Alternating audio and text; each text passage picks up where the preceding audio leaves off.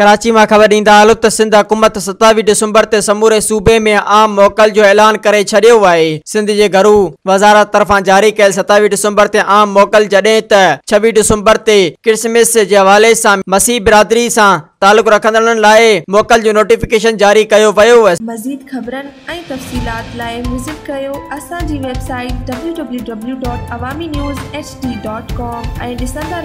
वियो